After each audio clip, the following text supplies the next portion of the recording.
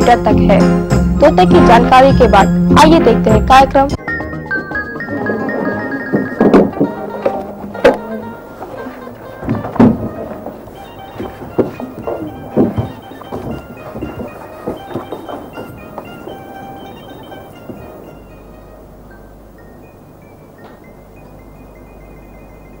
अच्छा तो तुम लोग अपनी होली के हिसाब से तो बैठ गए हो ना? हमारी टोली तो सही जगह बैठी है। हम लोग भी ठीक जगह बैठे हैं। मैं भी सही जगह बैठी हूँ। क्यों भाई? खेल के लिए तैयार हो? हाँ, दीदी। अब जल्दी करवाइए शुरुआत। चलो शुरू करते हैं खेल। लेकिन हाँ पहले ये तो बताओ। आज कौन सी टोली की बारी है? दीदी हमारी टोली करेगी खेल की शुरुआत। तो फिर देर किस बात की है? चलो तुम लोग अपने लकड़ी के टुकड़ों पर लिखे हुए शब्दों को देखो। और उन्हें मुहावरे या लोकोक्ति के अनुसार क्रम में रख दो।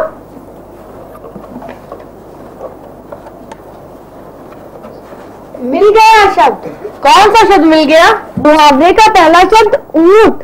तो इसे हाथ में क्यों लिए हो? रख दो उसे नीचे। ये रख दिया शब्द ऊँट। अब अगला शब्द क्या रखा जाए? मैं समझ गई मुहावरा। तो हम लोग को तो बताओ। हाँ यही है मुहावरा।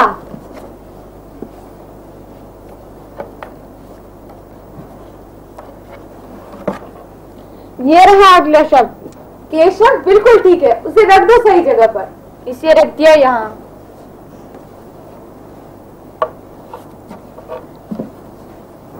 अब रखा जाएगा शब्द मुँह। अब मैं शब्द किसके पास है? ये रहा शब्द में। इसे रख दो सही जगह पर। हाँ। अब अगला शब्द तो मिल ही नहीं रहा है। अरे मुहावरे का एक शब्द तो बचा है। वही तो दूसरी टोली को बताना है। अच्छा हाँ इसलिए हम उस भाग को रख देते हैं जिस पर कुछ भी ना लिखा हो। अच्छा तो तुम लोगों के शब्दों का क्रम है? ऊट के मुँह में खाली जगह अब तुम लोग बताओ अंतिम शब्द क्या रखा जाए कि पूरा मुहावरा बन जाए?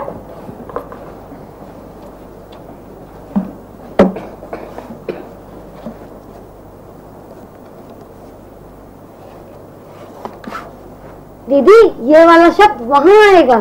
जीरा शब्द बिल्कुल सही है। दो मैं रख देती हूँ।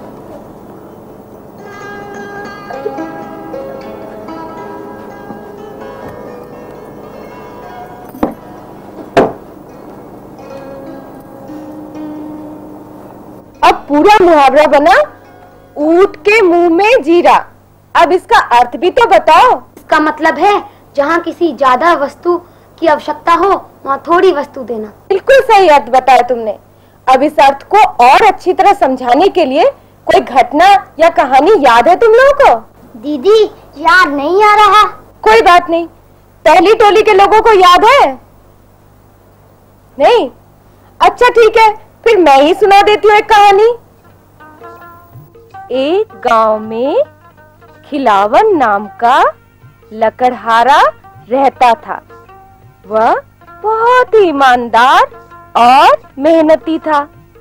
गाँव में लकड़ियाँ चीरकर उससे मिलने वाली मजदूरी से अपने परिवार का पालन पोषण करता था। बापू बापू, पास वाले गाँव में मेला लगा हुआ है। वहाँ बहुत अच्छे अच्छे खेल तमाशे हो रहे हैं। अच्छा बेटा? भैया खेल तमाशा छोड़ो भी। वहाँ अच्छे अच्छे खिलौने तरह तरह की मिठाइयाँ भी मिल रही हैं। बापू बाबू मेरे लिए गेज और बल्ला लेते आना अच्छा बेटे ला दूँगा। बापू कल तो आपको मेला चलना ही पड़ेगा। आप रोज रोज बहाना बना देते हैं। दूसरे बच्चे तो खूब अच्छे अच्छे कपड़े पहन के आते हैं खूब अच्छी अच्छी चीज़ें खा, खाते हैं लेकिन बापू आप हमारे लिए कुछ नहीं लाते। चलो हटो हटो। जब देखो तब परेशान करते रहते हो। अरे शांति बच्चों को इस तरह क्यों डांटती हो? अच्छा बेटा आज शाम को जब मजदूरी से रुपए मिलेंगे तो हम तुम सबको मेला घुमाने ले चलेंगे। सुनिए इस वक्त की रोटी का तो जैसे तैसे इंतज़ाम हो गया। पर शाम के लिए घर में कुछ भी नहीं है।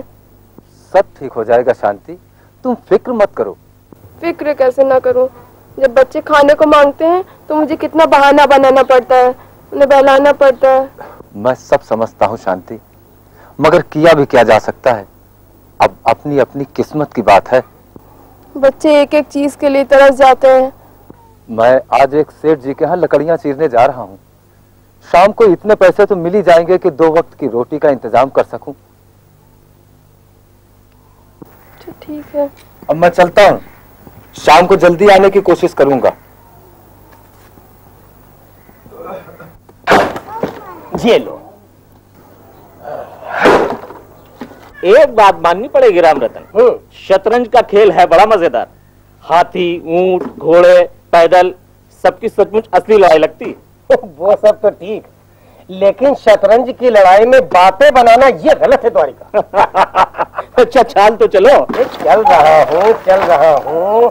ये ये लो।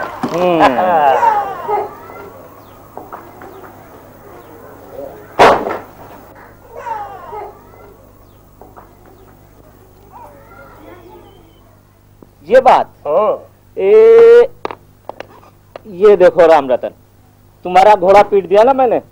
ये बहुत खराब बात है द्वारिका। मुझे बातों में फुसला कर तुमने मेरा घोड़ा पीट दिया। हंस रहे हो। मालिक हम्म, सब लकड़ी चीर दिया। अब मजदूरी भी मिल जाती तो बड़ी कृपा हो जाती। ठीक है ठीक है। मजदूरी भी मिल जाएगी। सब लकड़ी इकट्ठी करके रख दी तुम? हाँ मालिक। है? हाँ।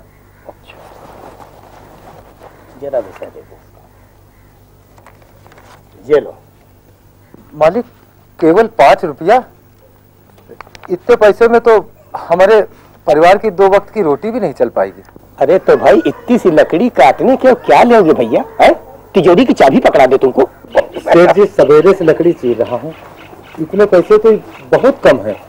अरे भाई तो कितना दे तू है? क्यों भाई? ऐसी कौन सी ज़िम्मेदारी तुम्हारे सामने है जो इतने रुपए में भी तुम्हारा गुजारा नहीं हो सकता? मालिक तीन छोटे छोटे बच्चे हैं। पत्नी है। और मैं अकेला कमाने वाला हूँ। इतने पैसों में तो हमारे परिवार की दो वक्त की रोटी भी नहीं चल पाएगी मालिक। क्या कहा? पाँच लोगों का खर्चा सिर्फ़ तुम्हारी मजदूरी से चलता है? हाँ मालिक। द्वारिका अब बचाओ अपना ऊँट। अरे भाई राम रतन ये मजदूरी तो इसके लिए सचमुच ऊँट के मुँह में जीरा है। बजाय ऊँट बचाने की ये तुम क्या बकवास कर रहे हो द्वारिका है? ऊँट के मुँह में जीरा का क्या मतलब हुआ? देखो राम रतन इसका मतलब होता है किसी बड़ी आवश्यकता के लिए छोटी वस्तु प्रदान करना।